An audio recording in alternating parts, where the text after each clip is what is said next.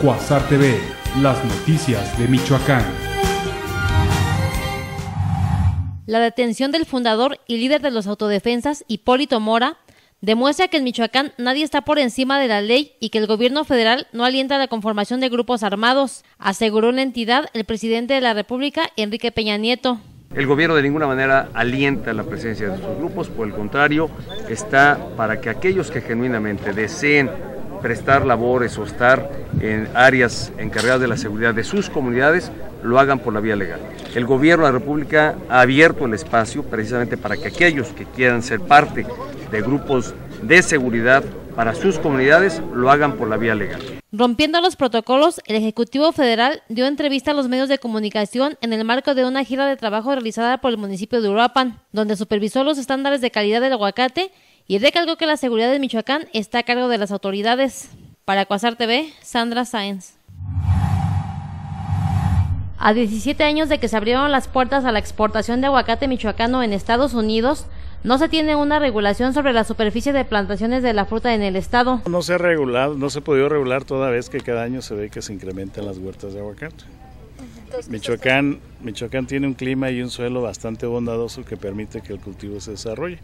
Y si ustedes ven, el cambio climático ha permitido también que el cultivo se esté extendiendo. Lo bondadoso de la tierra del estado, aunado al cambio climático, ha favorecido la producción de aguacatera en Michoacán, ubicándolo en el primer lugar a nivel mundial con una producción anual de 1.300.000 toneladas. Para Cuasar TV, Sandra Sáenz.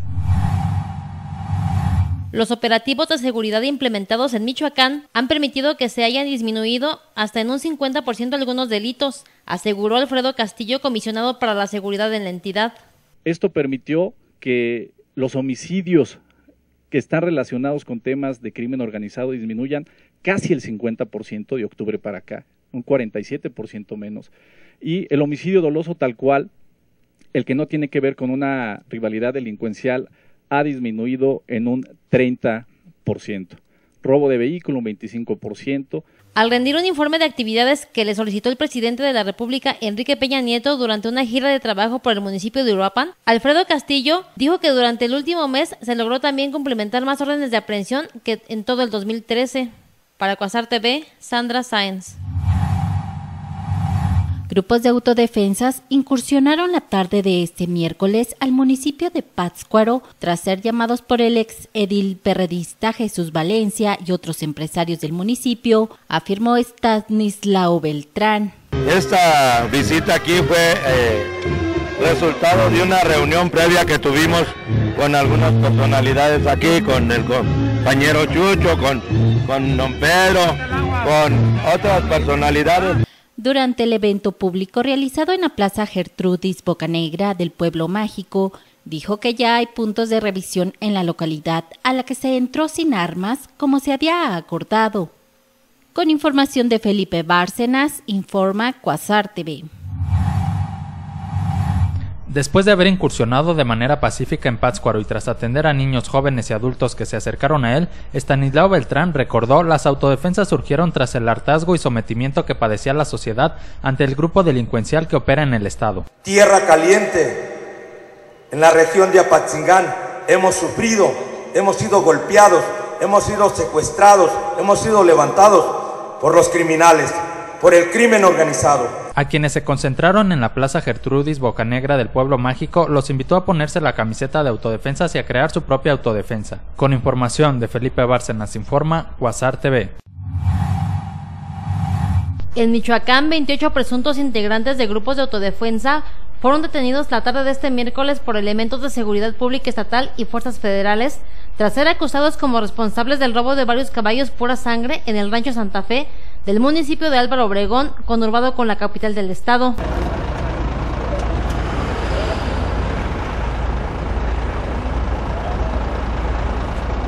Los detenidos que portaban camisetas blancas con la leyenda de grupos de autodefensa de Apaxingán y Santa Clara del Cobre fueron requeridos por elementos policíacos y escoltados por los castrenses hasta las instalaciones de la Secretaría de Seguridad Pública a bordo de camionetas con remolques donde transportaban los caballos extraídos del rancho en mención. Para Cuasar TV, Sandra Sáenz.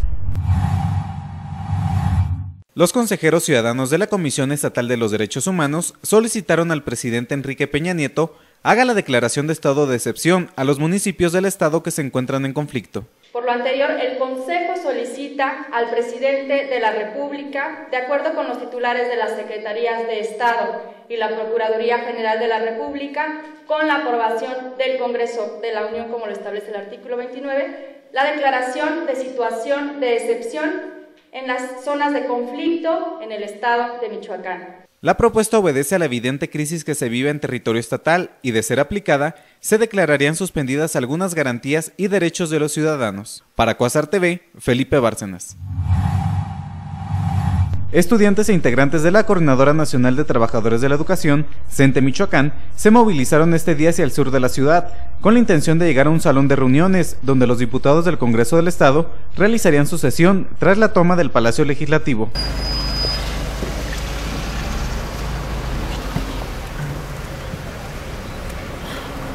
Contenidos por la policía estatal, los maestros no tuvieron la oportunidad de llegar al inmueble en el que se encontraban resguardados los legisladores, por lo cual, minutos después se retiraron sin mayores incidentes, a la altura de la glorieta del Papa Juan Pablo II. Para Cuasar TV, Felipe Bárcenas.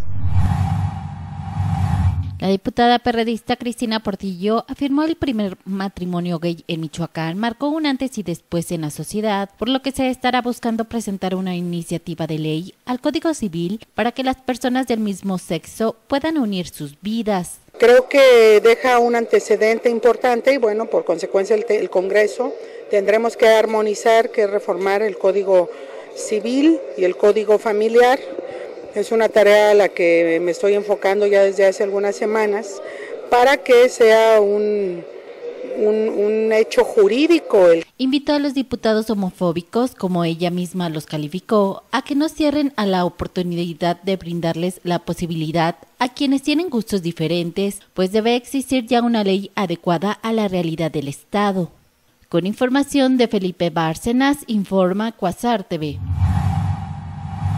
A fin de hacer conciencia entre la población sobre los daños que ocasiona a la salud del consumo de tabaco, con cuatro muertes en Michoacán al día por esa razón, Morelia, al igual que el resto de la entidad, conmemoró el Día Michoacano sin Fumar instituido desde 1993. Porque el que fuma momentáneamente va a sentir un poco de alegría, de satisfacción, pero luego se va a dar cuenta del cáncer en el que se va a encontrar. El pionero del movimiento y neumólogo Jesús Alejandre mencionó algunas de las consecuencias negativas en la salud derivadas de fumar. Con información de Andrea Fernández Informa, Cuasar TV.